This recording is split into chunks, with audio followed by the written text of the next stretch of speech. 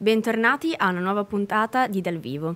Nell'appuntamento di oggi siamo in collegamento con Renato Sarti, direttore del Teatro della Cooperativa e regista dello spettacolo di cui ci parlerà oggi, intitolato I me chiamava per nome 44787 Risiera di San Sabba, spettacolo che avrà, eh, andrà in scena dal 23 al 28 gennaio, nella settimana della giornata della memoria, proprio al Teatro della Cooperativa. Buongiorno e benvenuto.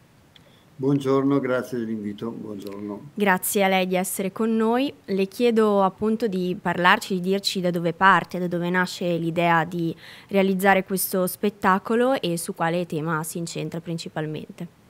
Beh, ehm, per quello che è il giorno della memoria vale la pena ricordare una delle pagine più terribili del, del grande capitolo tragico della deportazione, ehm, perché la risiera di San Sabba a Trieste, è stato l'unico lager situato sul territorio nazionale italiano con forno crematorio. Eh, da 2.000 a 5.000 le vittime, è stato aperto dai, dai tedeschi immediatamente dopo l'8 settembre ed è durato fino alla fine della guerra. Era, mm, ed era un campo di sterminio simile ai peggiori campi di sterminio che avevano operato in Polonia, Sobibor, Belz e Treblinka, perché i personaggi, i carnefici eh, di, di, di, quel, di, quella grande tragedia, si parla di 2 milioni di ebrei uccisi e soltanto 74 i sopravvissuti, uh, quelli, quelli, che avevano gestito quell'operazione si chiamava Action Reiner, poi arrivano a Trieste e si adoperano sia per l'azione antipartigiana e sia per sopprimere gli ebrei, gli oppositori politici, i testimoni di Geova, quelle che erano le categorie eh, chiamate Untermenschen. Quindi una pagina un po' dimenticata della storia del nostro paese che da me poi triestino più che mai mh, mm, penso sia opportuno ricordare. E il testo da cui nasce lo spettacolo ha conseguito una segnalazione speciale e anche un premio eh, per la produzione. Quanto è stato importante per la costruzione dello spettacolo avere un patrimonio simile a disposizione con anche l'aiuto di, di due storici?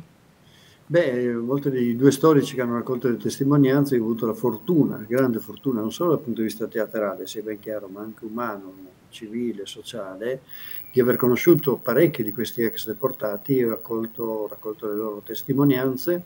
Alcune mi sono state messe a disposizione da Marco Kosovic e Silva Bom dell'Istituto per la Storia del Movimento di Liberazione a Trieste, ma alcune proprio poi questi deportati, deportati li ho conosciuti ed è, diciamo così, è stata un'esperienza indelebile, perché conoscere quello che hanno patito, sofferto queste persone, che, che, loro per fortuna poi sono tornate, ma molte altre non sono tornate, e che hanno sacrificato la vita o parte degli anni loro più belli per, per la democrazia e la libertà, beh, è importante perché, perché significa ripercorrere quel tracciato di quel percorso di, di, di, morte, di terrore, di orrore che è stato il nazifascismo.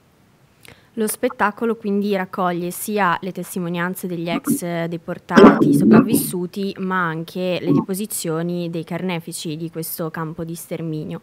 Qual è quindi la visione che eh, il teatro vuole dare a questi avvenimenti e come è cambiato anche il riscontro da parte del pubblico nel corso degli anni di, di questo spettacolo rispetto a questo tema?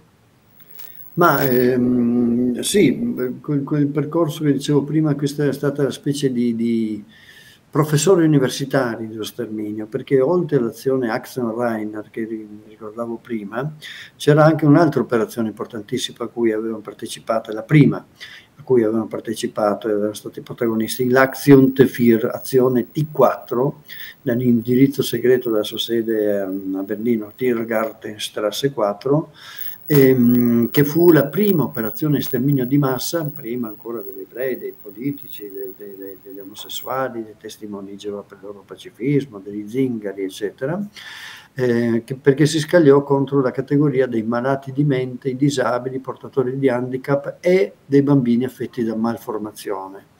Eh, questa concezione eugenetica, la teoria eugenetica, che bisognava sterilizzare prima sterilizzare per impedire che alcune persone, diciamo così, vite indegne di essere vissute, così erano chiamate, si riproducessero.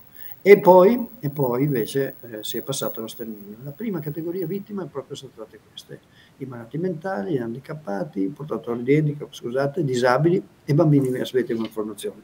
Quella, quella, quella, quella, quel gruppo di, di, criminali nazisti che portarono a termine questa azione, che fu interrotta nel 1941 da Hitler, poi passano alla Polonia e poi arrivano a Trieste.